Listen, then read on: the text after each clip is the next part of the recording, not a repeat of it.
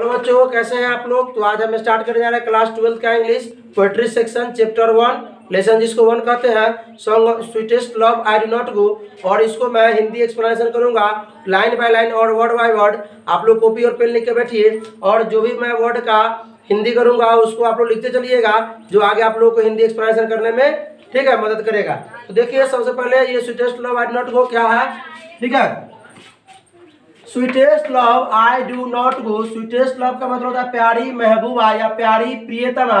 I do not गो मैं नहीं जा रहा हूँ, ये पोएट्री सेक्शन का लेसन वन है। ठीक है?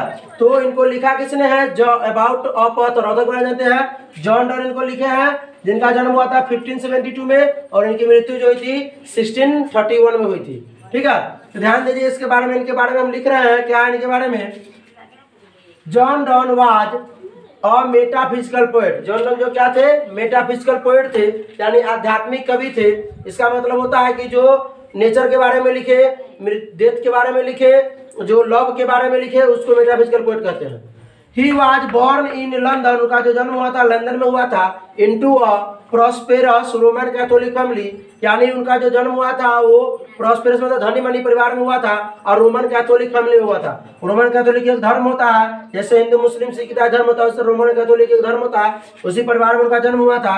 When England was anti Catholic जिस समय जन्म हुआ था किस समय? जिस समय इंग्लैंड जो था, एंटी कैथोलिक था, कैथोलिक के विरुद्ध था, ठीक है? इंग्लैंड, उस समय इंग्लैंड इंग्लैंड जो था, वो कैथोलिक धर्म के विरुद्ध था।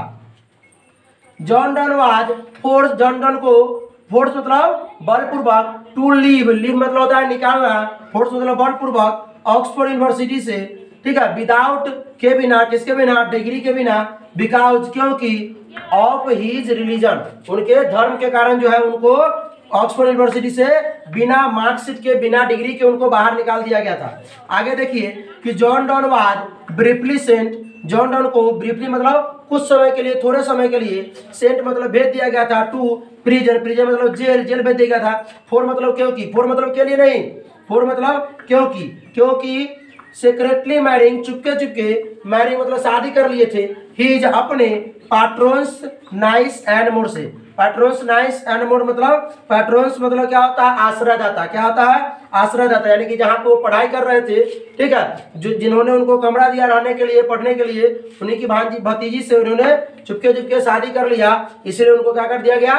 थोड़े समय के लिए जेल भेज दिया गया था। आगे आइए कि John Donne well John Donne is well known known John Donne जो है, जाने जा, अच्छी तरह जाने जाते हैं for his songs and sonnet अपने songs and sonnet songs and sonnet क्या होता है? जो चौदह लाइन का हो, और किसके लिए? सटायर के लिए। सटायर मतलब चुटकुले। चुटकुले के लिए। एलगिस के लिए। एलगिस क्या होता है? शोक गीत। एंड सरमन। सरमन मतलब होता है? क्या होता है? सरमन मतलब वो प्रवचन। क्या होता है? ये प्रवचन भी लिखते थे।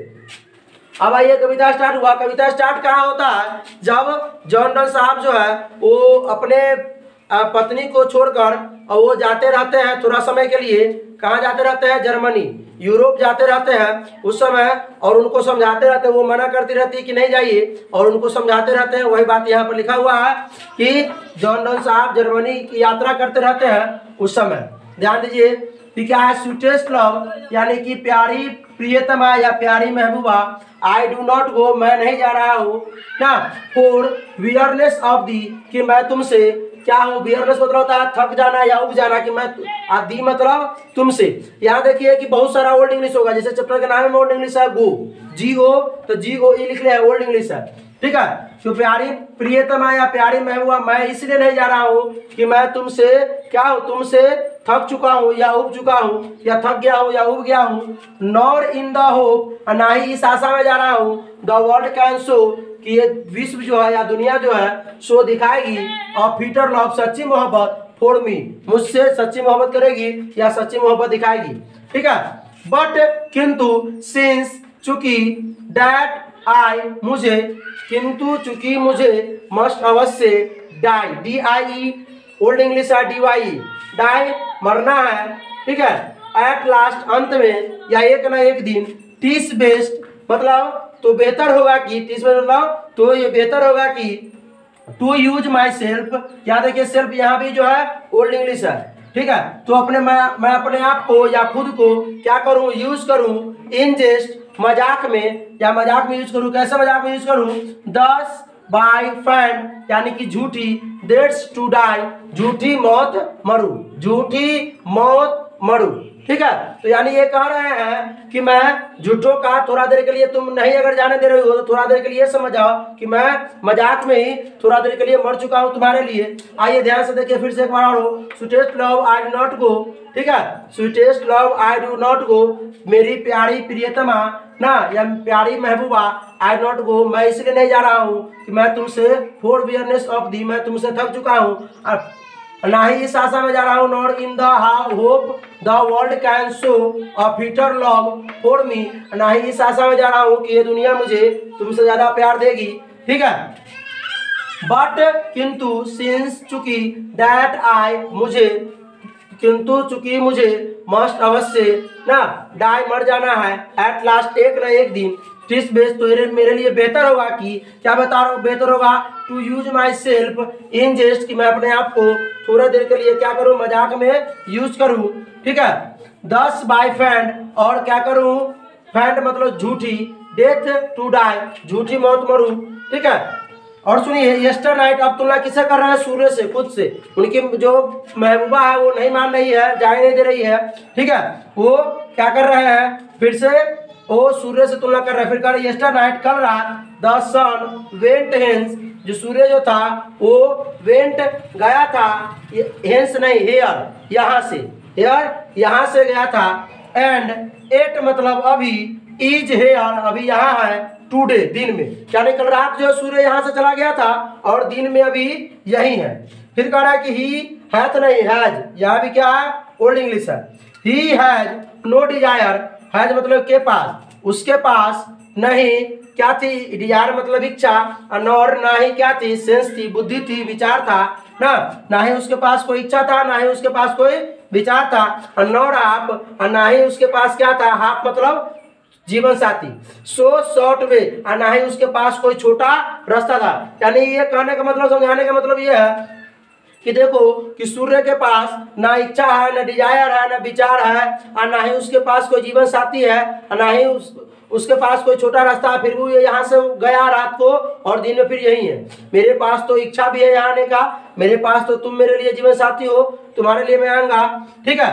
तो आप आगे देखिए then force fair not me ठीक है? तो कह रहे हैं कि तब तो फेयर नॉट मी तुम मेरे लिए। चिंता मत करो, डरो मत।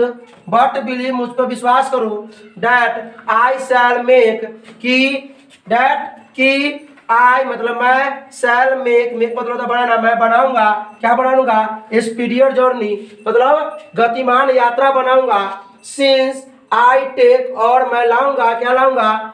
मोर विंग्स बहुत ज़्यादा उत्साह। विंग्स मतलब उत्साह। स्पर्श मतलब होता है उमंग। मैं बहुत ज़्यादा उमंग लाऊँगा। देन ही, किससे ज़्यादा? ही मतलब सूर्य से ज़्यादा मैं उमंग और उत्साह लाऊँगा। ठीक है? तो देखिए इसको, फिर कह रहे हैं कि अब आप जो लेखक जो है, वो आदमी की शक्ति के बारे में बता रहे हैं कि, ओह, हाउ कितनी फीवर मतलब कमज़ोर है, कितनी कमज़ोर है इज़ मैच पावर आदमी की शक्ति डैट की इफ़ यदि गुड फॉर्चून अच्छा भाग्य या अच्छा पल, क्षण, समय, फल मतलब गिर जाए, नष्ट हो जाए तो क्या होगा? Can not add another hour को जो है, वो नहीं कर सकता है। एक लम्हे को जो लम्हा आने वाला है, उसको नहीं जोड़ सकता है। और not are lost hour recall और ना ही जो जो बीत गया है, जो समय, उसको रिकॉल कर सकता है। But come bad chance. किंतु अभी जो है, लेखक साहब कह रहे हैं, अभी जो है हम लोगों के लिए बैड चांस है, बुरा समय आ चुका है। एंड वी वी जो है डब्ल्यू ई है वी मतलब हम लोगों को जे ओ आई एन है ज्वाइन ज्वाइन करना चाहिए। टू इट इसे आवर स्ट्रेंथ अपनी पूरी ताकत के साथ, शक्ति के साथ ज्वाइन करना चाहिए। एंड वी और हम लोगों को टीच मतलब इससे सीख मिलेगी। क्या सीख मिलेगी? आर्ट एंड लेंथ इससे कला कला सीखेंगे और दूरी में रहना सीख जाएँगे। यानी कि कभी जो है, ये क्या सोच के बाहर जा रहे हैं? कि भाई, एक दूसरे से दोनों इतनी मोहब्बत करते रहते हैं कि दोनों एक दूसरे से अलग नहीं रह सकते हैं। अगर इनको कुछ हो गया तो वो मर जाएँगे। तो इसीलिए कभी एक आइडिया सोचते हैं कि मैं थोड़े दिन के लिए अभी दो दिन के लिए चला जाता हूँ। ना, फिर पाँच दिन के लिए अगली बार चला जाऊँगा, फिर दस दिन के लिए अगली बार चला जाऊँगा, ना, और आगे चल के होगा तो मुझे अगर कुछ भी हो जाएगा तो ये मेरे बिना रह सकते हैं, मैं इनके बिना रह सकता हूँ। यही सोच के वो जाने का प्लान बनाते हैं। फिर समझिए कि वो क्या कर रहे हैं कि ध्यान से how feeble is man power, कि आदमी की शक्ति जो है कितनी कमज़ोर है दैट कि इफ़ गुड फॉर्चून फॉल उनका जो भाग्य है फॉर्चून मतलब भाग्य जो होता है, समय होता है, फल होता है, ठीक है? वो क्या हो जाए? फॉल मतलब गिर जाए। Can not add another hour तो वो आने वाले समय को ऐड नहीं कर सकते हैं नॉर और लॉस्ट आवर रिकॉल ना ही बीते हुए समय को रिकॉल कर सकते हैं. बट कम बैड चांस लेखक साहब कह रहे हैं कि अभी जो है हम लोगों के लिए बैड चांस है, ना? एंड वी ज्वाइन और हम लोगों को ज्वाइन करना चाहिए टू इट इसे. आवर स्टैंड अपनी पूरी ताकत के साथ and we teach it art and length और हम लोगों को इससे क्या मिलेगा? सीख मिलेगा। आर्ट कला सीखेंगे और दूरी को सीखेंगे। Itself over us to advance और हम लोगों को एडवांस में यानी कि कुछ आगे क्या मिलेगा? इससे खुश रहने की क्षमता मिल जाएगी। दूरी दूर बना के दूरी रहने की क्षमता मिल जाएगी।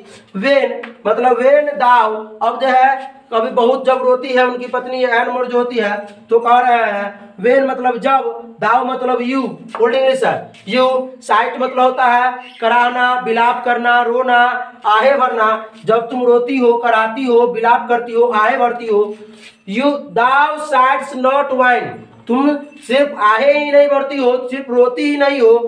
बट किंतु साइड्स माई सोल अवे जो तुम्हारी जो ये आहे भरना है, जो रोना है, जो विलाप करना है, वो मेरी आत्मा को मुझसे दूर ले जाती है। कभी कहते हैं कि जब तुम आहे भरती हो, रोती हो, बिलाप करती हो तो सिर्फ़ तुम रोती ही नहीं हो।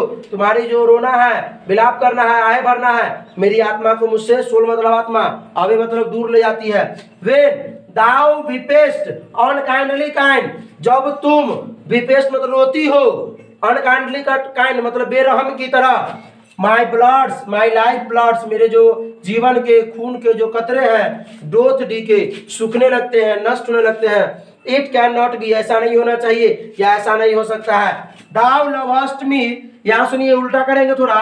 दाव लवस्ट मी एज दाव श्रेष्ठ, यानी एज मतलब जैसा कि, दाव मतलब तुम, श्रेष्ठ मतलब कहती हो। दाव लवस्ट मी कि तुम मुझसे प्रेम करती हो इफ़ इन दाइन और यदि तुम मुझमें बसती हो माई लाइफ दाव वेस्ट तो मेरे जीवन को तुम बर्बाद कर रही हो रो करके विलाप करके? ना, तुम, तुमको, तुम्हें ये लग रहा है कि मैं किसी दूसरे कारण से जा रहा हूँ, मैं तुमसे उब गया हूँ, थक चुका हूँ, मुझे तुम नहीं पसंद हो तो ये तुम छोड़ दो, ठीक है? तो तुम ये सब सोच करके मेरी लाइफ को बर्बाद कर रही हो। Thou art the best of me अब सुनिए, तुम जो हो, नमूना हो आर्ट मतलब होता है नमूना तुम जो हो मेरे लिए सबसे बेस्ट नमूना हो, ठीक है? इससे अगला एक स्टंजा है, इसको मैं समझा रहा हूँ थोड़ा देर में।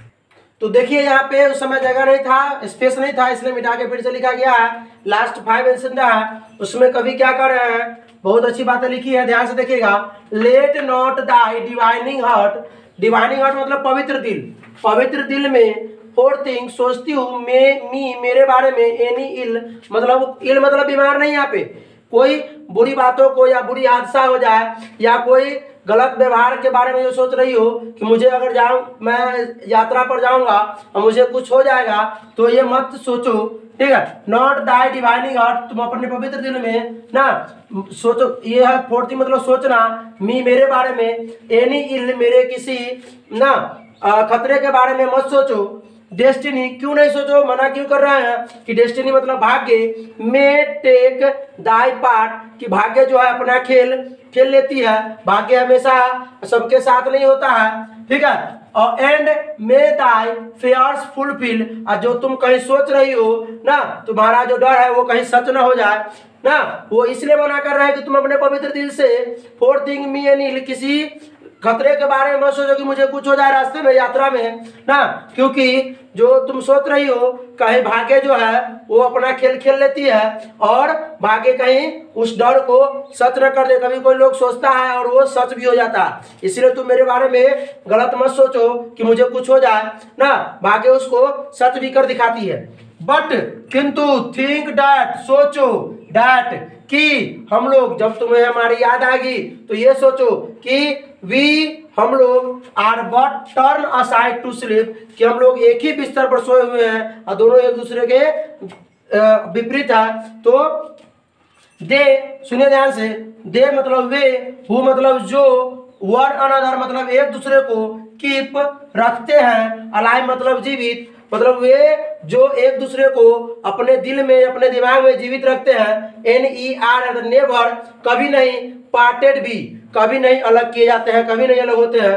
तो एक बार और इस लाइन के बाद समझाते हैं कि let not thy divining heart forethink me any ill कि तुम मेरे बारे में मेरे ख, किसी खतरे को लेकर तुम सोच रहे हो कि मुझे कुछ हो जाए यात्रा पर तो अपने पवित्र दिल से ये मत सोचो। डेस्टिनी क्योंकि भाग्य जो है मे टेक दाई पार्ट अपना खेल खेल लेती है क्योंकि भाग्य हमेशा सभी के साथ नहीं होता है और जो तुम सोच रही हो जो डर रही हो कि कहीं वो सच ना हो जाए फेयर मतलब डर फुलफिल मतलब सच हो जाना सच ना हो जाए। और यदि तुम्हें हमारी याद आती है, ना तो बट थिंक तुम ये, किंतु ये सोचो कि हम लोग are but turn aside to sleep कि हम लोग एक ही बिस्तर पर सोए हुए हैं और दोनों एक दूसरे से विपरीत है। तो ऐसे में तुम उससे दूर रह सकती हो। दे मतलब वे लोग who on another keep alive वे लोग जो एक दूसरे को क्या रखते हैं? अपने दिल में जीवित रखते हैं। वो नेवर पार्टेड भी, वो कभी अलग नहीं किए जा सकते। ये जो है स्वीटेस्ट लवाइनोर का हिंदी एक्सप्लेनेशन है। आप जो है इसका समरी और इसका ऑब्जेक्टिव भी आगे वीडियो में देख सकते हैं। पढ़ाई करते रहे। All the